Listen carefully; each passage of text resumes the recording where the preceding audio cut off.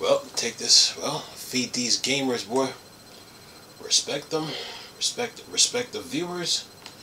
And put the content out. These these these viewers, these these gamers, aka viewers, they're hungry. All right, give them some news. What we got for them? Okay. Hello, people. Mornings. Another beautiful day. Yep. Hope your five senses work, health and strength is good or excellent. What? All right, you gamers. You know, you know, you know, everybody's starting to go open source now. AMD, AMD got everybody hooked. Even Nvidia trying to go open source, and now Activision. Listen to this. Activision has released one of its former Call of Duty Warzone maps as open source. It says if you want to be a game developer or at least get some insight into making major AAA games, Microsoft owned Activision just offered up a huge gift today. As posted on Activision official blog, the company has released a data set that includes a map named Cal Caldera, which was originally developed for the free-to-play shooters Call of Duty. The blog post, first first of its kind data set released for Call of Duty, now available in OpenUSD, uh, contained the new complete geometry of Cal Caldera, as well as a uh, collection of random, randomly selected an anonymized time samples showing how players move around the map. This in initiative re represent Activision commitment to innovation and growth in multiple fields, including AI learning with communities and academia, um, academic uh, research while propelling the advancement of game development. And it says the data set itself is 4 gig in size, and Activision says also has over 5 million mesh, 28 million primitive, and more than 1 billion point instance. The company adds that the release represents one of the largest ever U Open OpenUSD dataset that is not publicly available. Developer Ravensoft was the primarily team behind the development of Caldera Map, but it received some help from other studios like Beenox, High Moon uh, Studios, and other uh, Call of Duty teams at Activision.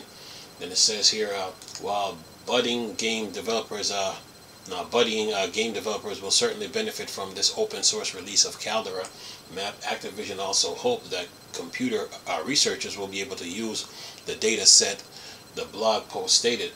The tubular data and metadata in, include providing opportunities for richer understanding of how players interact with games, which can potentially lead to new insight on what uh, makes specific layout compelling for users.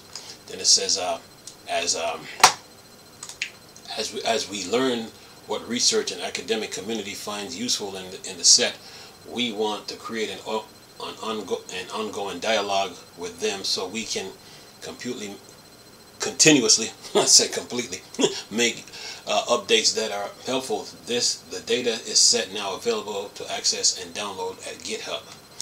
And we got five comments. Let's see what these uh, commenters have to say. Hmm. All right. Let's see here. Uh, Jeezy said this. Does this include assets as textures related script and animation for maps objects? Then says edit. Apparently not, but it is still interesting My module. Um, and then CC, CC said this. It says, uh, from glancing at the repo, I think it's just uh, geometry. it says, edit, can confirm from repo, we have also chosen not to include texture and materials in the, this release.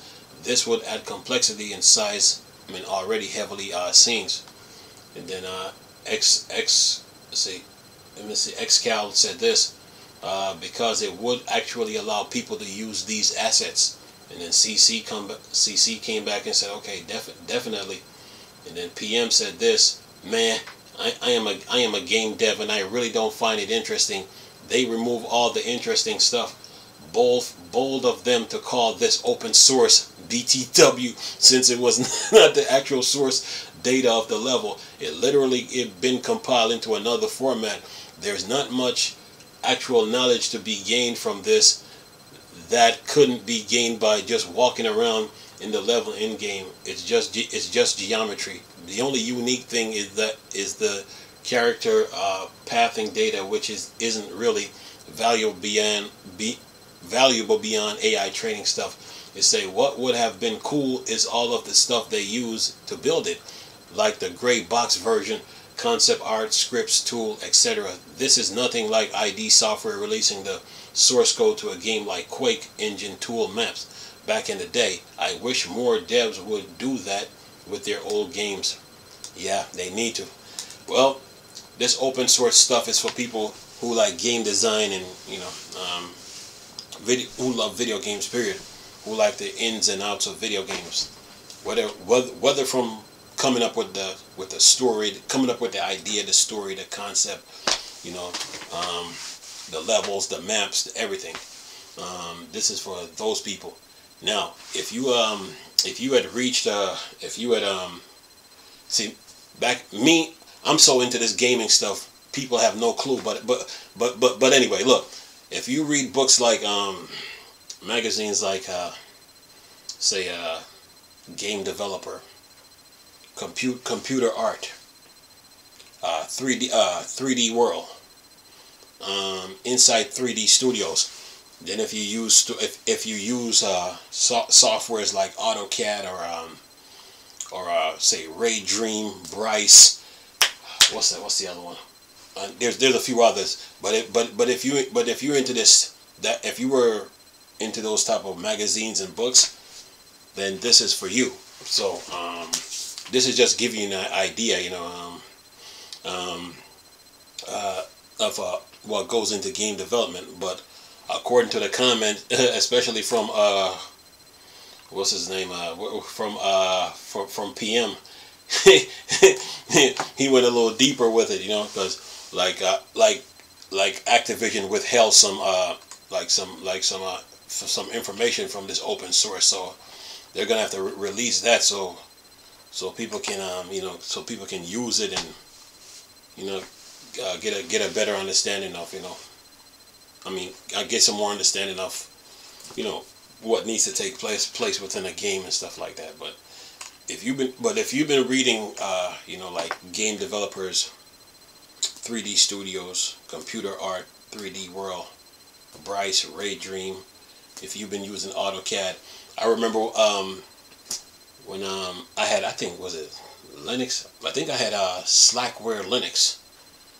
I think I was using Slackware Linux. I was trying to get a I think it was 3.2 at the time, and I had a copy of AutoCAD, and I could have, I,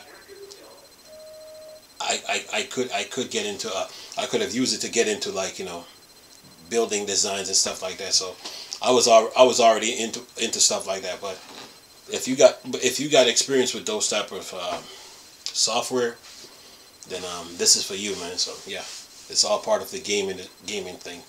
But Activision withheld some things from based on what I'm looking at. And yeah. Anyway, I'm gonna leave the link in the description box with the article plus the uh, plus the link to um, the GitHub uh, download. Anyway, hope you guys enjoyed the video. Nice talking to you people again. Chris, still Star Wars Trek fan board. Dark Side. Go. Peace.